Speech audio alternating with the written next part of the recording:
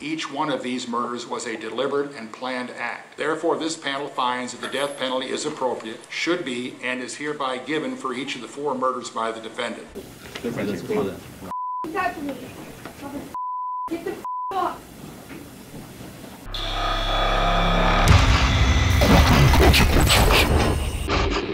This is Austin Myers, a murder suspect in Ohio.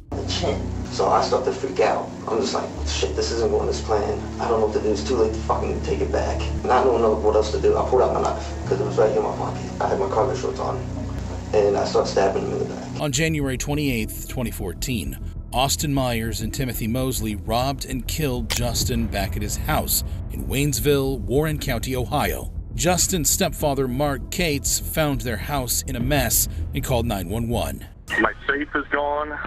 My my handgun that was on top of the safe is gone. Watches looked like it was a wreck. As per reports, Myers held Justin while Mosley tried to strangle him with a makeshift garrote. As the Navy recruit resisted the duo, Mosley panicked. Plan was, now, could have clean, no blood. Right. I got him, like, right on the chin. Okay. So I start to freak out. I'm just like, this isn't going as planned. I don't know what to do. It's too late to fucking take it back. Right. And in desperation, Mosley stabbed Justin from behind. It never felt like it hit bone or anything like where it was tough. It just It really, was in and out. really. Uh, I had enough time. I, I, I, I don't, I don't know exact number. Justin was stabbed a total of 21 times. During their interrogation, Myers tried to blame Mosley for the stabbing. Did you ever ask Tim why this suddenly happened? I didn't want to try to talk about it because he just killed one of my old friends in front of me, and he had a gun in his pocket, Right. and I didn't know why. I don't know why he killed him in the first place. Mosley, on the other hand, claimed that Myers was the mastermind of the murder robbery. After hearing him trying to sell me out and make me look like I did everything, how would I know about the safe? How would I know about the money? Why would I put something in cold blood? And he told me about it. What did he tell you? Well, He told me about uh, Justin's house and his stepdad, saying he has a safe, he keeps it cracked open, and he has a gun and a lot of money. How much money did you think was going to be there? Also said a good couple thousand. So we were thinking, a quick job, in and out, boom, might make some money. And then we uh, came up with the plan uh, of taking out Justin because in the way. So he's the brains of the operation. it like. Pretty much, I was, I was following. You're the muscle. After the murder, they wrapped Justin's body in a blanket and dumped it in a rural area. Myers fired two shots into the body. He says you're the one that pulled the trigger on the gun, and he's already dead. I mean, all I want to know is I want to know the truth. He says you shot him, and he's very convincing. Did you shoot the gun, or did he? After being arrested and charged in court, Mosley reached a plea agreement in which he agreed to testify against Myers. He told the court about Justin's final moments. Uh, obviously, Justin was trying to put up a fight, and just he wasn't overpowering us. Uh, Justin was trying to ask ask us why. To, he was pleading to stop, pretty much begging for his life. What did Austin say in response to these questions and statements that Justin Back is making as he's attempting to kill him? In the, in the lines of "It's all right, um, it's almost over." He then said that Myers wrote the plan to murder Justin in a notebook, which was presented in court. Uh, no mess. What's the significance of that? What did that mean? Um, the idea of strangling them, uh, that way it would create no mess.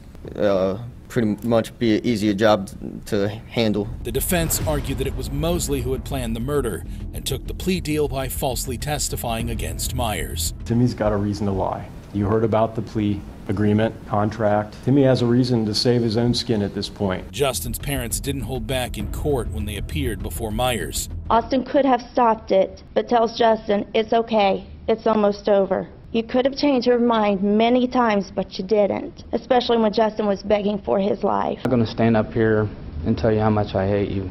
That is without question. I would just hope that every time you close your eyes at night, you see my just my son Justin. Before his sentencing, Myers took to the stands. He addressed the victim's parents. I'm sorry that this happened. I know that doesn't bring Justin back, but I'm sorry. He apologized and said he regrets killing Justin Back. I hate for any family to go through such pain and suffering as this. Myers then asked the jurors to spare his life for his family's sake. If you choose for me to die, it's only going to cause more pain and suffering for another family. Not me. It won't hurt me. I won't feel anything. It's gonna hurt more innocent people. Now, this is the moment the 19 year old will learn his fate. The defendant does not understand how precious life is. Court finds that the state has proven beyond a reasonable doubt that the aggravating circumstance outweighs the mitigating factor. Therefore, the sentence of death shall be imposed upon Austin Gregory Myers on the charge of aggravated murder. Myers was found guilty of all charges and was sentenced to death. He is the youngest person on Ohio's death row. While Austin Myers was sent to death row for killing his best friend, how does it compare to murdering a mother and her daughter? Like in the case of Marlon Joseph, a double murder suspect in Florida. Murdering uh, a mother in the presence of her own child and then chasing that child out in the street like a dog and shooting her five times. On December 28, 2017, Joseph shot and killed Kalada Crowell and her 11 year old daughter Kyra Inglet in their home after a dispute between his daughter and Kyra. According to police reports, Joseph first shot Crowell in the head and then chased and shot Kyra five times. Joseph then went on the run for five days. His mother pleaded with him to turn himself in. Son, I love you. You know I love you. But can you please just turn yourself in? Joseph was soon arrested from a nearby apartment complex. Legal analysts called it a particularly heinous crime, and that Marlon Joseph deserved the death penalty. Murdering uh, a mother in the presence of her own child and then chasing that child out in the street like a dog and shooting her five times, I believe it was three shots in the head. Um, those are gruesome facts. And, you know, when you commit an offense like that, you are the poster child for the death penalty. Now it was time for Marlon to learn his fate. Marlon Maurice Joseph, you have not only forfeited your right to live among us, but under the laws of the state of Florida, you have forfeited your right to live at all. Joseph was found guilty of all charges and sentenced to death. And on that date, you shall be executed in a method provided by Florida law. While Marlon Joseph was sent to death row for killing a mother and her daughter, how does it compare to targeting and murdering two people at random? Like in the case of Dexter Johnson, a robbery and murder suspect in Texas. According to reports, Johnson was part of a group of five who randomly targeted Maria Aparece and Huy Ngo, who were sitting in their car outside Aparece's house in Houston. Johnson and his accomplices forced the couple into the back seat of their car and drove them to a secluded area where they robbed them of their belongings. Johnson then assaulted Aparece in front of Ngo before shooting them both in the head. Johnson was arrested a few days later after police traced the stolen car and found DNA evidence linking him to the crime. He faced charges of two counts of capital murder, carjacking, robbery, and unlawful intercourse, with the potential for the death penalty. Dexter Darnell Johnson, the jury has found you guilty of capital murder. In accordance with the laws of the state of Texas, this court hereby assesses your punishment of death. After the verdict, Johnson was visibly distraught, and his family, sitting in the gallery, broke down. He's just a god! He's a god! Suddenly, Johnson sprang from his seat and lunged towards the victim's family before being quickly surrounded by officers. He was restrained and removed from the court.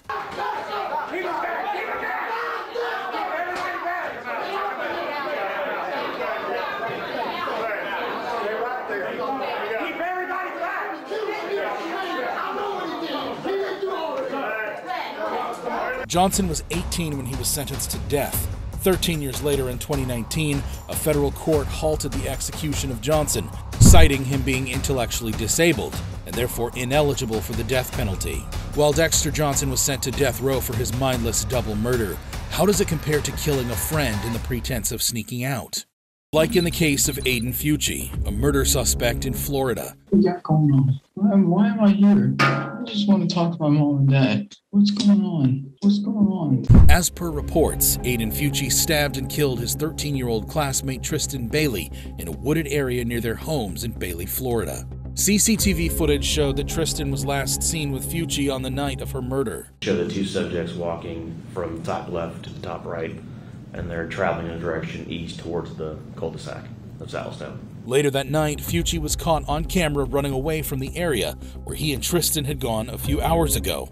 you can see that he's carrying something in his hands. Tristyn was reported missing by her family, and hours later, her body was discovered with 114 stab wounds. Fucci was arrested in relation to the then missing case of Tristyn. He posted on Snapchat while sitting in the back of the cop car. He even took a video on his phone. We're, we're having fun in a fucking cop car. Yep. Tristan. What's up, guys? Tristan, if you fucking walk out the damn. In custody, Fucci was grilled by his parents. That uh, Snapchat that you did was not very smart. Blah, blah, blah, blah. Now we have people want to burn our house down, our cars down, because of that Snapchat thing you did. It's all over, you're all over the internet and everywhere. It Social is- media. It is on social media. You'll probably come stay with me after we get done with this, just for your well safe being. This is serious, man. Later, Fucci's mother was caught on camera trying to clean the blood out of the jeans he was wearing during the murder. She was later charged with tampering with evidence. Fucci was charged with first degree murder. Later, in a court appearance, Fucci seemed confused and disoriented. got going on? I don't let you demons. You demons want to take my soul away. I don't let you demons steal my soul. Fucci pleaded guilty to all charges and apologized to the victim's family. I just want to say I plead not guilty. Uh, and that I'm sorry for the Bailey family and my family. Tristyn's sister appeared in court and made powerful victim impact statements. This jar now holds 114 stones, one for each of the 114 stab wounds that my sister had to endure. Did she see you coming at her with the knife, or did you stab her while she wasn't paying attention? Did she scream out for help, or was she parad- paralyzed with agony? Did she cry for my mother? Did she beg you to stop? Did you hear her lungs gargling with blood? Or did you see it in her face when she realized she could no longer breathe due to her collapsed lungs? What were her last words? Did you stay to watch her die? Or did you leave her there in agonizing pain as you ran away? How long did she suffer? Did you watch the life leave her eyes? Tristyn's mother said that she would never forgive Fucci. Aiden Fucci, you have destroyed me. You have destroyed my family. You have destroyed Tristyn's friends. You have destroyed the community that we live in. You have caused a divide amongst friends and neighbors that should have never been. During the verdict, the judge said that this was probably the most shocking case of his career. I would submit that this case is probably the most difficult and shocking case that this county in St. Johns County has has dealt with. In the 20 years that I have been, or 16 years that I have been practicing law, and the 30 years that I have lived and worked in this all of Northeast Florida, this case is is one of only a very small few that had this level and this type of impact on the He said that Tristyn was conscious and aware during her attack. 114 stab wounds, 49 defensive wounds, 35 wounds to the head and neck, 29 to the back and shoulder, and 6 fatal wounds. The judge added that the crime was highly premeditated and the Fucci was always going to kill someone. There was a heightened level of premeditation in this case. Based on the prior statements that he made to his girlfriend and his friend, he indicated that he was going to kill someone. At which point he determined that it was going to be Tristyn Bailey, I don't know. But there was going to be a victim. The judge also said that this crime had no reason. He added that Fucci killed Tristyn only to satisfy his desire to see what it was like to kill someone. Also, very troubling is that this crime had no motive. This was not done out of, out of greed. It was not done in retaliation, retribution, or revenge. It was not a crime of passion. It was not a crime that was committed because he felt rejected by her. It was not done in, an, in a fit of uncontrollable anger. There was no reason, there was no purpose. It was done for no other reason than to satisfy this defendant's internal desire to feel what it was like to kill someone. Fucci was sentenced to life in prison without the possibility of parole. He was just 14 years old. Mr. Fucci, having entered a plea of guilty to the crime of first degree murder, I adjudicate you guilty of the premeditated first degree murder of Tristyn Bailey. I sentence you to life in prison. While Aiden Fucci was sent to life in prison for brutally murdering his friend, how does it compare to committing multiple murders in a place where people go to study? Like in the case of 24 year old Nikolas Cruz, a mass murder suspect in Florida. Hello. My name is Nick, and I'm going to be the next school shooter of 2018. Location is Stone Douglas in Parkland, Florida. It's going to be a big event. And when you see me on the news, you'll all know who I am. You're all going to die. Cruz shot and killed 17 people and wounded 17 others at Marjory Stoneman Douglas High School in Florida. Before the tragic incident, Cruz made several videos of himself revealing his plans. And we'll all die. Alright, so here's the plan. I'm gonna go take an Uber in the afternoon before 2.40. From there, I'll go into the onto school campus, walk up the stairs, unload my bags, shoot people down at the main, was it the main courtyard? Await, and people will die. Days before the attack, Cruz was caught practicing shooting in his backyard. During the attack, students and staff hid in corners and cupboards to avoid being shot. The staff and students who survived the massacre did so by hiding in corners and cupboards. Cookery teacher Ashley Kurth had nearly 70 children in her classroom while the shooting went on in the corridor. Just minutes after the shooting, Cruz can be seen calmly ordering an icy from a Subway nearby. Next, he went into a McDonald's and asked a traumatized student for a ride home.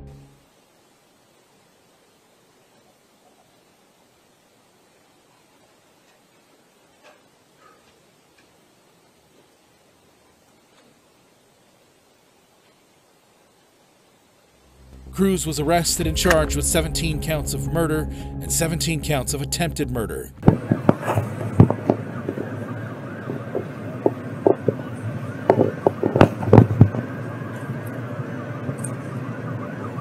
What's going on? What's going on today, bro? Uh, the, the demons, man. Demons? Voices. Voice, Voices. voices and demons? Where's the voices? During his trial, Cruz told a state psychiatrist that he hoped one of the students would come up and hug him while he was shooting other people. Uh, at one point in the interview, he suggested that, uh, you know, maybe uh, he had hoped one would hug him. He also suggested at one point that uh, he understood that they might have fear uh, or run from him. Cruz also said that he hoped his victims would scream more instead of just passing out. I thought they would scream. Uh huh. That's more like they passed out. Okay. Passed out and just blood just came out pouring out of their head. Okay. It was- it was really nasty. A victim's father said that he sat with his attorneys and saw the video of Cruz killing his daughter. And I sat with Attorney Satz and I watched you kill my daughter on video. A teacher who survived the shooting called Cruz a monster and wished he died sooner than later. You don't know me, but you tried to kill me. I will have a scar on my arm in the memory of you pointing your gun at me, ingrained in my brain forever. I see you in my nightmares and in my daydreams, and not a day goes by that I don't think about that horrible day. Because of you, I check for all exits wherever I am. Because of you, I think of the worst case scenario for myself and my family. Because of you, I will never feel safe again. I have no forgiveness in my heart for you. You are a monster with no remorse, and every breath you take is a breath wasted. The father of a teacher who died in the shooting spoke to Cruz and said that he hopes he dies a painful death in prison. My hope, my prayer for my birthday present is to get word that you are dead, that criminal, that the justice system was done in jail, that the prisoners that you and inmates that you have to associate with executed the judgment that this court can't. And I hope that it's the most painful judgment ever. Cruz was found guilty of all 34 charges. He was sentenced to life in prison without the possibility of parole. Count one of the indictment, the murder in the first degree of Luke Hoyer, the court imposes a sentence of life in prison without the possibility of parole. Count 34 for the attempted murder in the first degree of Kyle Laman. The court imposes a life sentence with a minimum mandatory of life in prison under Florida's 1020 life statute. Again, I am ordering that all 34 counts of the indictment for each sentence is to run consecutive That is one after another. You are remanded to the custody of the Department of Corrections to complete the mandatory life sentences imposed by the court. The victims' families were outraged by the decision to spare Cruz from the death penalty. Today, the wrong verdict was given. We are beyond disappointed with the outcome today. I'm stunned. I'm devastated. Nikolas Cruz was sent to life in prison for mass murder. But what happens when you're accused of killing a cop? Like in the case of 16 year old Jonathan Belton, who was convicted of murdering a cop in Detroit. We know what really happened. I know I love you all to death. Yeah. I'm gonna see y'all soon. As per reports, Belton was driving without a license when Officer Mason Samborski pulled him over on a routine stop. Belton then lied and took Samborski to a nearby apartment complex to meet his mother. Once there, Belton tried to flee and a struggle ensued. Belton shot Officer Samborski and killed him with his own service gun. First responders said that Officer Samborski had no pulse by the time they arrived. He also had a wound in the back of his head. I checked for vitals first. Uh, I found no pulse. Uh, there was a large wound in the back of his head. The prosecutor said that Belton had intended to harm and kill Officer Samborski. The defendant either intended to kill Officer Samborski, intended to do great bodily harm to Officer Samborski, or knowingly created a very high risk of death or great bodily harm. Belton's girlfriend, who was present during the crime, took the stand and described what happened after she heard the gunshot. I saw Officer Mason laying down on the ground and Johnny standing on the side of him with the gun in his hand. Okay, when you said Johnny with the gun in his hand, is that Jonathan Belton? Yes.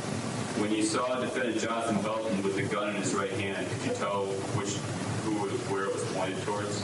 Yes. Tell the jury where defendant Belton had the handgun. It was pointed towards like his upper body, somewhere towards his head. Speaking to Belton, Officer Samborski's widow said that she would never forgive him. Jonathan Belton, you shattered my happiness, my hopes, and my dreams, and for that I will never forgive you. Belton was found guilty of all charges and sentenced to life in prison without the possibility of parole. He was 16 years old. Murder of a peace officer. Guilty as charged of murder of a peace officer. Count two, possession of firearm and the commission of a felony. However, his sentence was later reduced to 40 to 70 years in prison due to a U.S. Supreme Court ruling that made mandatory life sentences for juveniles unconstitutional. Jonathan Belton was sent to life in prison for killing a cop. But what happens when you're accused of assaulting your date? Like in the case of 17 year old Keandra Cook, a carjacking and assault suspect in Daytona, Florida. According to reports, Cook used an online dating app to lure the victims and set them up for a carjacking. During the attempt, one of the victims was allegedly shot and seriously wounded. In addition to carjacking, Cook was charged with aggravated battery with a deadly weapon. Before the verdict, the judge allowed her to say her final words. All right, come on up, Miss Cook. You get to say the final words.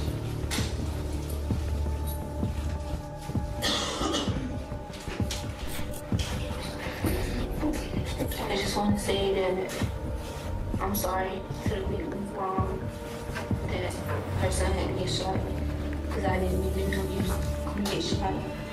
Um, my boyfriend and his friends did threaten me to do this. I didn't even know what was going on until it was, was at the wrong place at the wrong time. I just want to say that I asked for forgiveness when she said get chance so I can get out and finish school. And I can put my mama proud. Because I'm going to be her first child to bring home a high school diploma. And I just want to make my mama proud. That's it. Now, Cook would learn her sentence. Ms. Cook, you're before the court for sentencing. A couple of things uh, going in your favor. One, you didn't hold a firearm during these episodes. The, the second is that um, the victim uh, luckily survived. That being said, this was uh, intentional. It was an orchestrated ambush, and you are a main part of that. And for that, I'm going to go ahead and adjudicate you guilty of all three charges, sentence you to 20 years in state prison.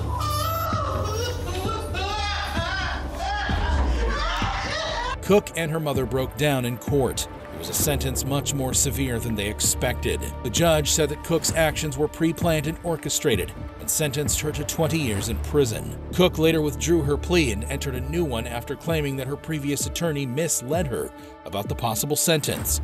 She received a reduced sentence of 11 years in prison and 20 years of probation.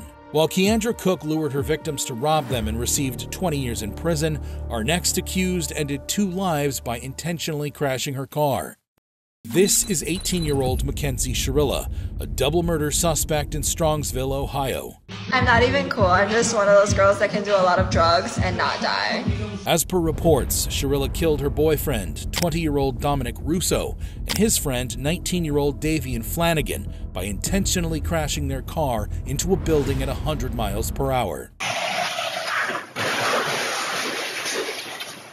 The impact was so severe that the car was split in half, and the trio were all ejected from the car. Shirilla was the only survivor of the crash. She pleaded not guilty to the charges against her and asked for leniency from the judge. However, the evidence showed that Shirilla had deliberately crashed the car, as she pressed the gas pedal all the way down and never applied the brakes.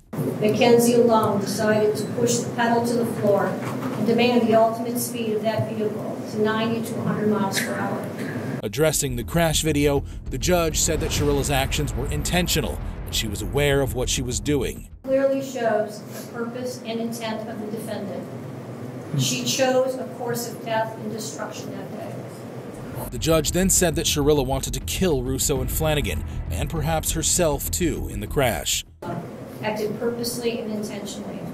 In the early morning hours of July 31st, 2022, her purpose was to kill Dominic Russo and Deacon Flanagan. She intended to also kill herself as a matter of speculation that have no relevance to the weighing of the evidence in this case. During the victim impact statements, Flanagan's mother said she would pray for Shirilla to find true remorse and repentance. I also pray that Mackenzie will find true remorse in her heart and true repentance. Flanagan's sister asked the judge to give Shirilla the longest possible sentence. I would like you to give Mackenzie the longest possible sentence. I've known her for about three years, and as she, she's always taken the easy way out. You should she will be eligible for parole, while my brother will be gone forever. Russo's brother said that Shirilla was the most selfish he knew. Kenzie's statement in the hospital to Detective Azu, can't you just take my license away for 10 years or something? That statement is Mackenzie Shirilla, the most selfish person I know. Ironically, Dom was the most selfless person I know. A visibly distraught Shirilla addressed the court and apologized to her and the victim's family. Davia, I'm so deeply sorry. I hope one day you can see I would never let this happen or do it on purpose. I wish I could remember what happened. I'm just so sorry. I'm heartbroken. I love Dom and Davion. We were all friends and Dom was my soulmate. I wish I could take all your pain away. I'm so sorry. And to my family, thank you for the support and all the love you guys give. Thank you for fighting with me. I love you all so much.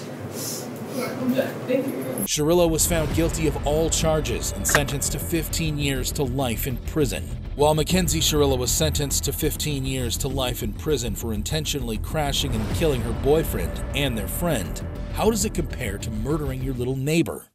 Like in the case of 18 year old Alyssa Bustamante, a murder suspect in Missouri. According to reports, Alyssa lured 9 year old Elizabeth Olten into the woods and strangled, stabbed, and injured her throat.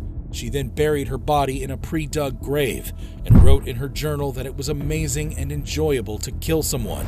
During interrogation, Alyssa confessed to murdering Olten. Because I am your advocate and I am here to protect you, I, I'm not going to ask them questions, but there's statements that you're making don't make sense. It's evident that you're lying. And, and we treat people who can't be honest completely different than we treat people who can be honest. You can be honest, if you can tell us what happened, even if you aren't protecting people you feel obligated to protect, we at least know we can help you. Okay? So he's gonna walk out. And like he said, he can't come back and talk, but don't you wanna have told him the truth right from the beginning? If This is your opportunity. It's your opportunity. Okay. Good. Slit her throat. I strangled her. Strangled her. She said that she strangled Olten first and then injured her throat with a knife, and finally stabbed and buried her body. And then you slit her throat. Mm-hmm. And did you actually, did you stab her then? Mm-hmm. Did you do anything else to her? Okay. Alyssa said that she wanted to know what it felt like to kill someone. death for just wanted to go. Even after her confession, Alyssa initially pleaded not guilty to first degree murder. She then took a plea deal and pleaded guilty to a lesser charge of second degree murder. Basically, the main reason for accepting the offer was to avoid the absolute certainty of life without parole. If there was another option, then there would have been no reason to have accepted that offer. Alyssa Bustamante was sentenced to life imprisonment with the possibility of conditional release in 2024, plus a consecutive sentence of 30 years. While Bustamante will spend the rest of her life in prison, how will it compare to the case of five students who mindlessly killed a person over a prank? This is Mikadyn Payne, Trevor Gray, Alexander Miller, Mark Sekelsky, and Kyle Anger, five teenage murder suspects in Michigan. The five students from Clio, Michigan were playing a game called Overpassing, where they threw rocks and sandbags from highway overpasses scored points for hitting cars. As per reports, on the night of October 18, 2017, 17 year old Kyle Anger threw a rock weighing 6 pounds that crashed through the windshield of a van and killed 32 year old Kenneth White. The teens were charged with second degree murder. It's not a prank, it's second degree murder. I don't think anybody's laughing, and I think if there's any admonition, any warning that both David and I can give, it's telling young people that you make a bad decision, you could be spending the rest of your life in prison. The judge declared that the teens would be tried as adults since they showed no remorse after killing Kenneth White. The proposal for juvenile sentencing is rejected lay low for a while and everything will be fine. Only way we get in trouble is if a, and I won't say the word, spelled rats, so you better hope he didn't give in already, or else we're going to the slammer. White's mom spoke to the five teens and said that they had destroyed her life and her family's life. You have destroyed not only oh, my life, or his life, you destroyed mine and my family, and his family, his kids. And yet you still have not even said you sorry for what you've done. You have savaged no remorse whatsoever. My heart breaks and aches every single day since his life has been taken from me. Kyle Anger, who threw the stone that killed Kenneth, apologized to the victim's family. I wake up every day with a hurt sadness actions. Yes, it was never meant to cause any harm. I didn't think about what my actions could do, and I will have to live with remorse and guilt for the rest of my life. I have a two-year-old niece, Melanie, and I look back and think, what if she had grown up without a parent? And the thought tears me up. In time, I can only hope that Mr. White's family and the community will be able to forgive me for my actions. Four of the five teenagers later pleaded guilty to manslaughter and were sentenced to juvenile detention. At the same time, Kyle Anger, who did not accept a plea deal, was convicted of second degree murder and sentenced to three to 20 years in prison. He was paroled after three and a half years.